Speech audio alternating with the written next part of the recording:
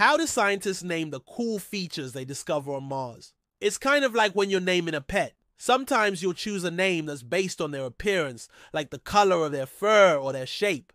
And sometimes you'll choose a name that's based on their personality. And that's exactly how scientists name the features on Mars. Take, for example, this crater. It's not very big and it's not very deep, so it doesn't really stand out.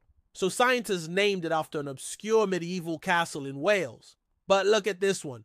This crater is huge. It's over 20 kilometers wide. And because it's so big, it has its own name. They named it after a famous sea monster called the Kraken.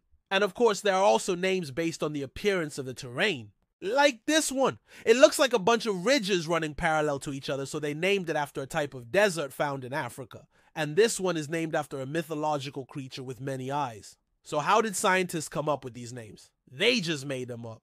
No, I'm just kidding. They actually have a lot more rules than that. If you want to know more, stay tuned.